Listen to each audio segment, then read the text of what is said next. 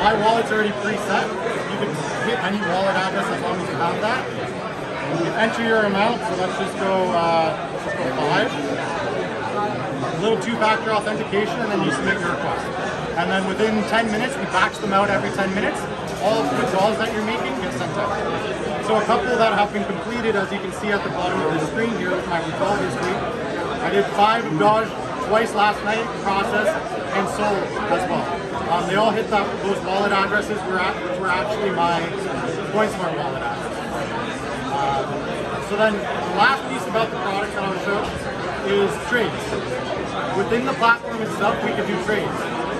So, as a real example here, full transaction history for trades available as well. If I want to buy or sell cryptocurrency that's available here, I can do so as a business. Very, very easily.